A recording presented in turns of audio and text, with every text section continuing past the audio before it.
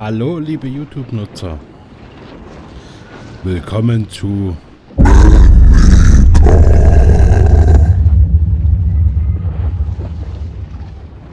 So, kleines Vorwort. Wie ihr seht, ist unser Hai recht groß geworden. Das Problem ist, ich hatte zwei, drei, lass es drei Stunden sein, gespielt, einige Folgen aufgenommen. Und ja, was soll ich sagen? Hab wieder Scheiße gebaut und zwar komplett ohne Ingame-Sound. Praktisch nur mein Gebrabbel und da habe ich die einfach mal entsorgt. Ja, ich habe die einfach gelöscht. Jetzt müssen wir mit dem weitermachen, was wir haben. Und ich zeige euch mal, was ich mittlerweile habe. Nämlich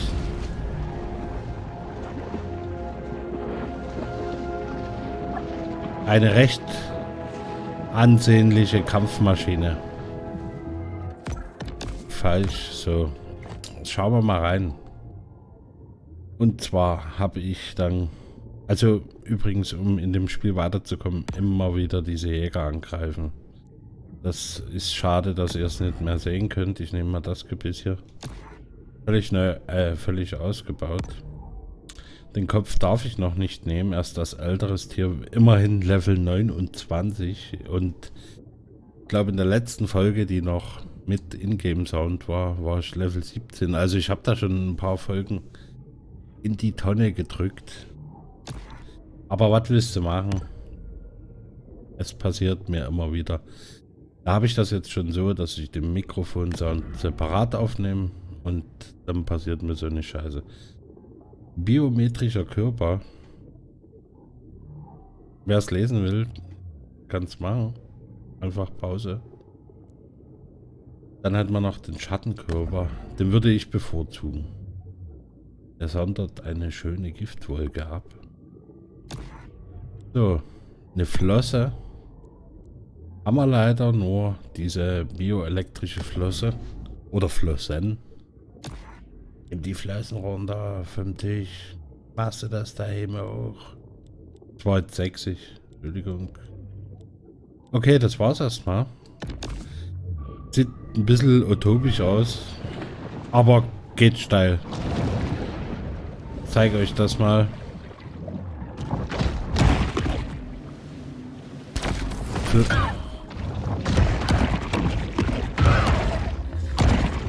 Wir haben jetzt eine, wollte ich noch schauen, eine Gesamtlänge von 5 Meter und 30.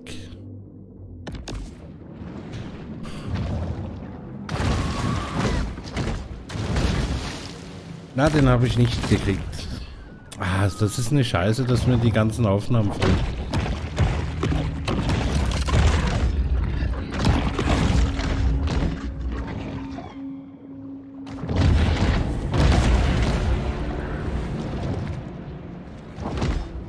Zu spät.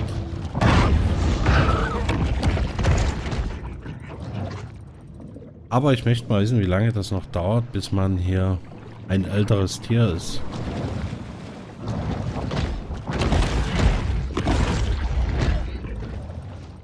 Wo sind wir denn hier? Ach Gott, am, am hintersten Zipfel.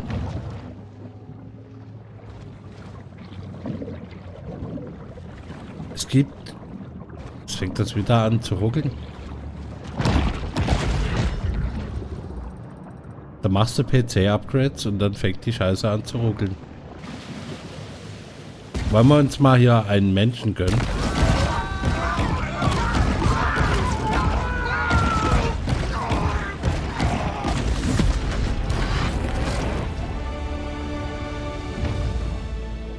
Alter Verwalter, Level 30. Geil. Haben wir 5,40 Meter. Wächst er eigentlich noch weiter? Weiß es nicht. Wir müssen einfach weiter fressen. Aber unten diese diese Skala geht nicht mehr weg. Ausgewachsen. Hm. Aber wenn ich jetzt ausgewachsen bin, wie werde ich dann ein älteres Tier? Altern, oder? Der Schwanz fehlt mir noch. Wo müssen wir denn? Hier müssen wir lang. Der Schwanz fehlt mir noch. Ich muss jetzt viel fressen.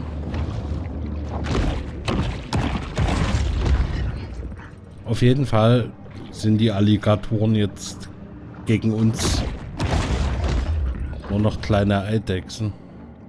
Ich finde die Flossen eigentlich total hässlich. Das passt gar nicht zu dem Hai, aber die sind halt zweckmäßig.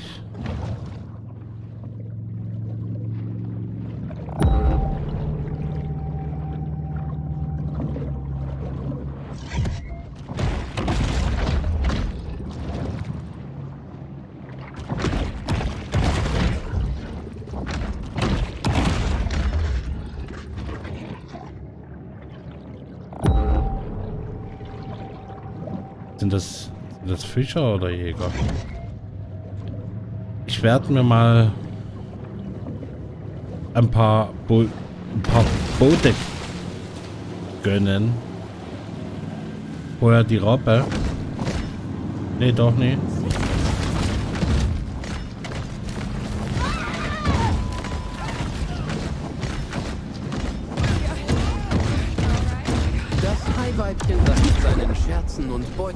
vielleicht zu weit gegangen ist, ist jetzt Gegenstand einer landesweiten Haifischjagd.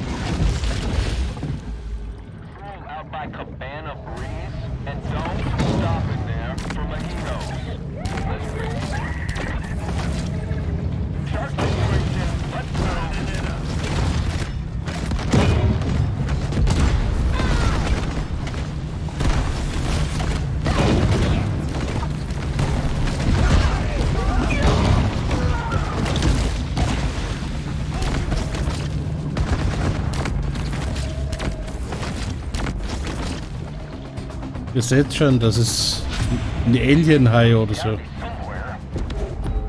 Wenn man einmal akzeptiert, dass unsere moderne Industriekultur nur eine von vielen ist, die Aufstieg und Fall erlebten, kann man unserem unvermeidlichen Zusammenbruch gelassen entgegensehen.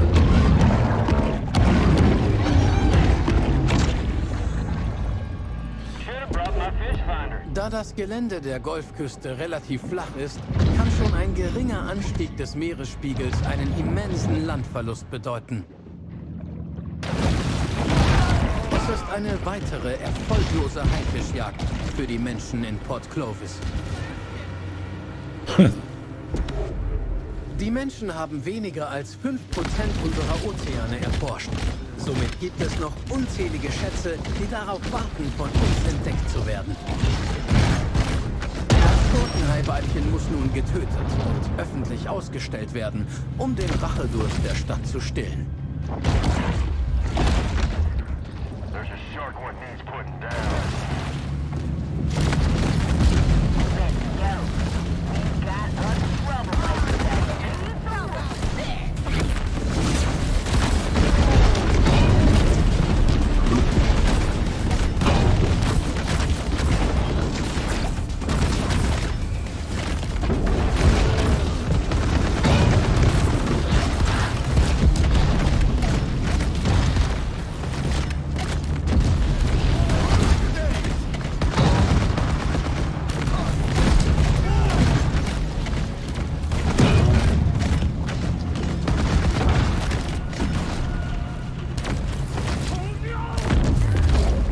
Oh, ich muss hier weg. Erosion kann schädlich für das Ökosystem sein, indem Lebensräume der lokalen Fauna wie Robben, Meeresschildkröten, Vögeln und Fischen verändert werden. Die werfen Wasserpumpen nach mir. Aber ich muss essen.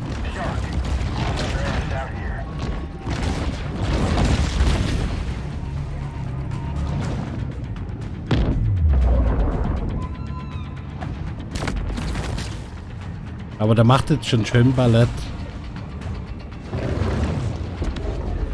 Wie es Mode in anderen Städten ist, sind weite Teile der Küste von Port Clovis nun das exklusive Reich der Wohlhabenden.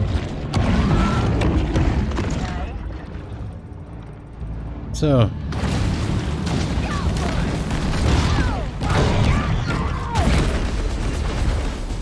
An diesem Gebiet kann man ablesen, dass die Wasserhülle der Erde unfähig ist, das Wachstum zivilisierter Landschaften entlang des Golfs zu tragen.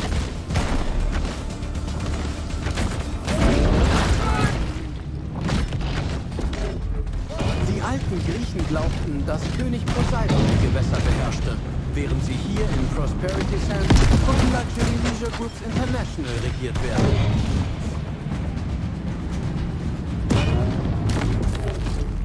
Gewässer der Ozeane sind ständig in Bewegung durch die Gezeiten, Strömungen und Superjachten aus Saudi-Arabien.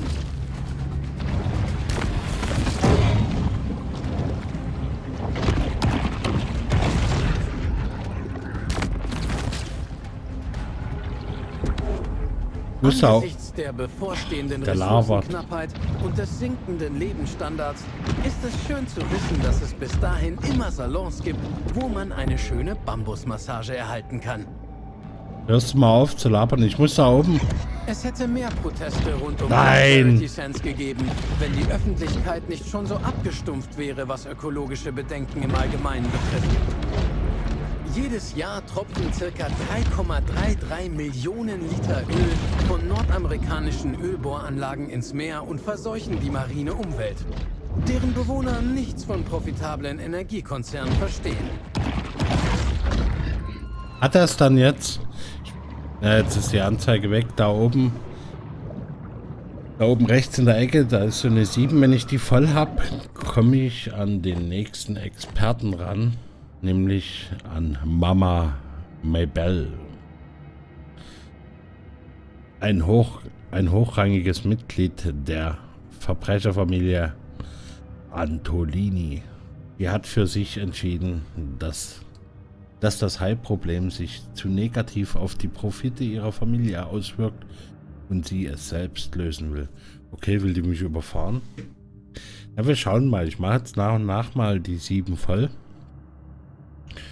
Und dann stellen wir uns dieser Mama. Vielleicht ist es unsere Mama. Es heißt oft, das Wasser am Carrier Key sei so klar wie Gin. Wenn ich daran denke, könnte ich noch einen Singapur Sling vertragen.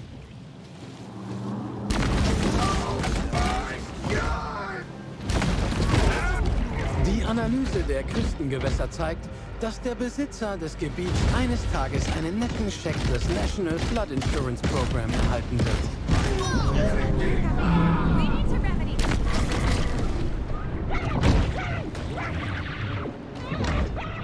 Echte Jäger hassen die Tierwelt von Grund auf. Ganz besonders die Haifischjäger. You know what to do, hunters. Es ist zwingend notwendig, dass wir die maximalen Ressourcen verbrauchen, bevor die Apokalypse der Erde unaufhaltsam ist.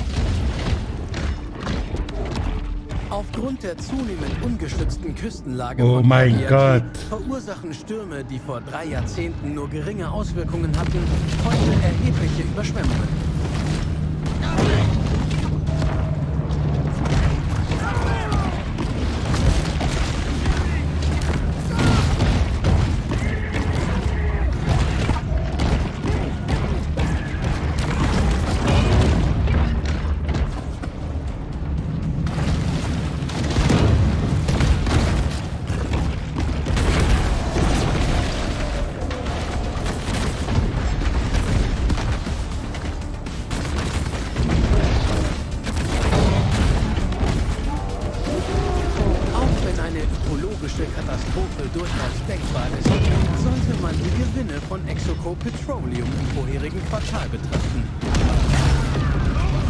Jetzt kommt sie.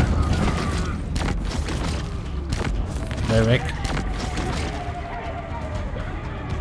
Die zahlungskräftige Zeitbombe. Mama Maybell.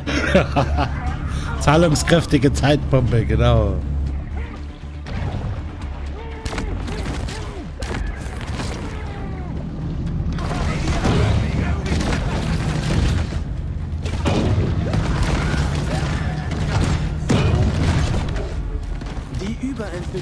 Küste schafft ein gefährlicheres, komplexeres Umfeld.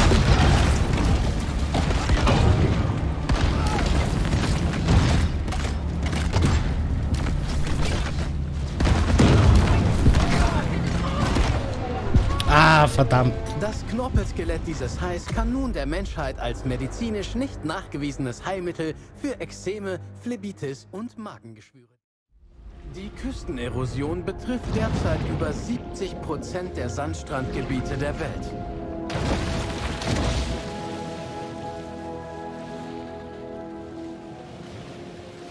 Aber wir müssen ein bisschen in tieferes Wasser, dass wir auch abhauen können vor den.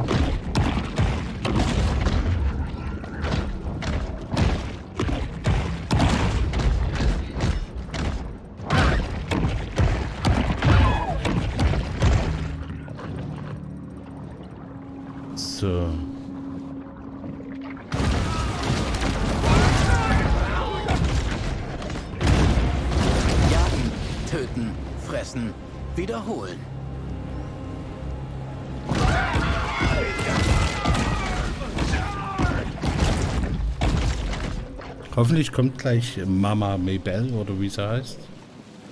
Oh, ein Jetski.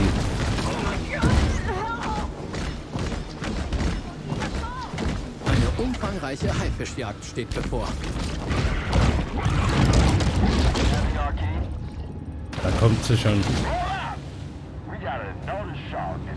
Die zahlungskräftige Zeitbombe. Mama Maybell.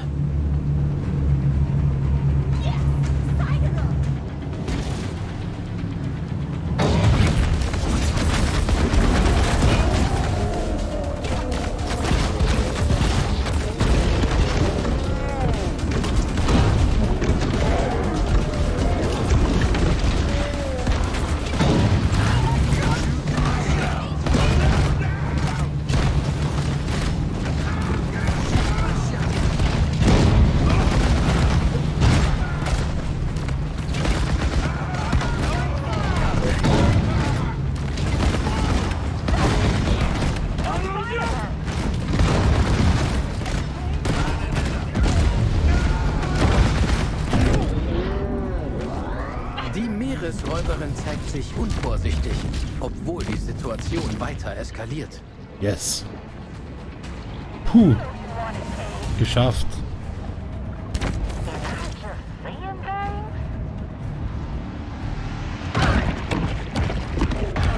Der Golfstrom transportiert warmes Wasser über den Atlantik in Richtung Nordost zu englischen Küstenstädten, in denen launische Rentner, Eselreiten und Heroinsüchtige das Stadtbild erfüllen.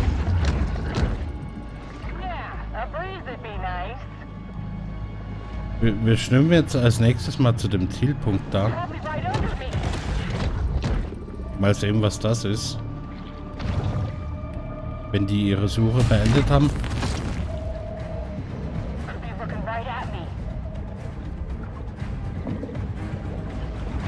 Müssen wir ein bisschen am Grund lang schwimmen.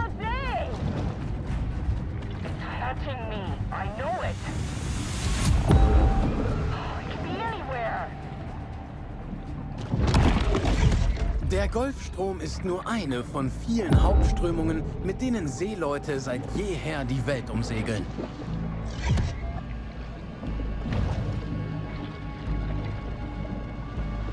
Was ist denn das überhaupt für ein Zielpunkt? Ach so, wie der Vater, so nicht der Sohn. Mehr als drei Viertel der Erdgeschichte war das Land unbewohnt und es gab weit und breit kein einziges Wellness-Hotel. Gott, der Typ labert zu viel. Was habe ich denn jetzt eigentlich für ein Upgrade bekommen? Schwanz. Okay, dazu müssen wir in die Grotte. Machen wir gleich, da gehen wir gleich in die Grotte, wo wir sowieso hin müssen, nämlich hier hin. Genau. Wieder einmal kehrt der Hai zu diesem Ort der Ruhe zurück. Ruhe ist das nur, wenn du deine hältst. Ey.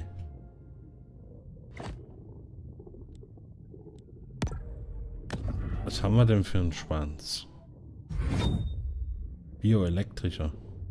Was kann denn der? Schwanzflossenschlag. Du feuerst eine Elektrizitätswelle ab. Ach so. Okay. Tun wir mal verbessern, soweit es geht. Ah, reicht nicht. Okay. Naja, ah das geht nach und nach. Sammelt man das ein. Aber wir schwimmen jetzt mal zu dem Ziel. Was ist denn hier gerade los? Windows ist auch manchmal zum Kotzen mit seinen Sch scheiß Updates, ey.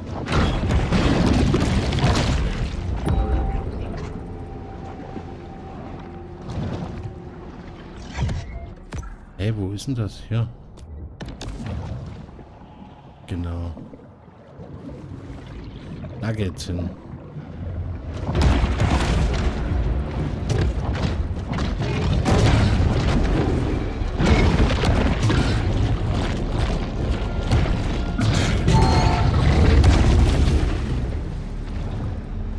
Ein Haps und weg ist er, der Alligator.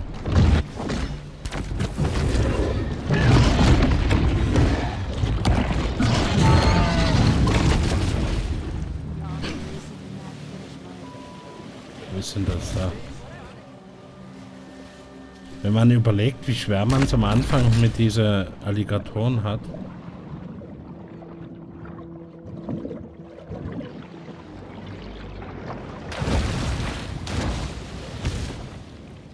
Leider entschuldigt das Ruckeln, aber ich muss nächstes Mal wahrscheinlich, darf ich im Hintergrund keine Steam-Spiele runterladen.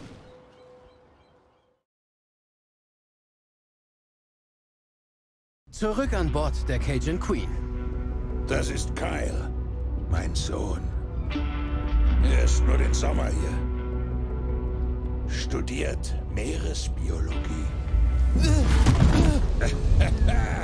ich kann mit einer Hand Haken anbinden.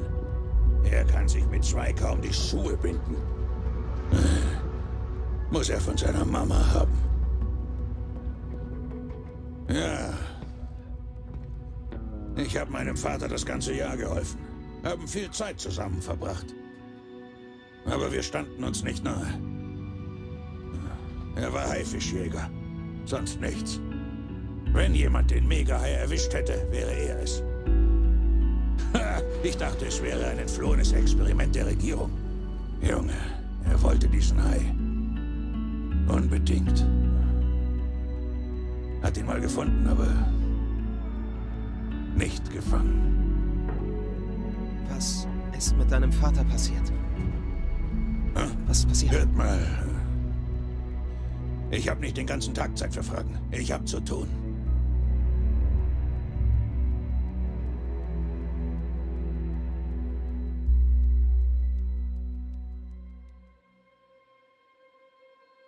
Genau wie Kyle LeBlanc ist unser junger Bullenhai der Erbe einer langen Familientradition und versucht, seinen Platz in der Welt zu finden.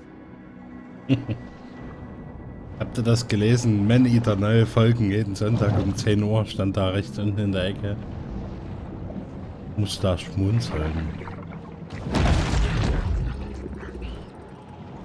So. Besuche die Grotte von Golden Shores. Golden Shores. Ach da.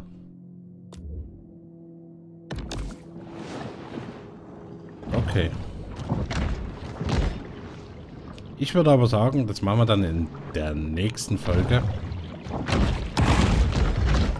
Danke euch fürs Zuschauen und ich nehme in Zukunft die Folgen mit Ton auf. Sowas passiert halt immer wieder mal.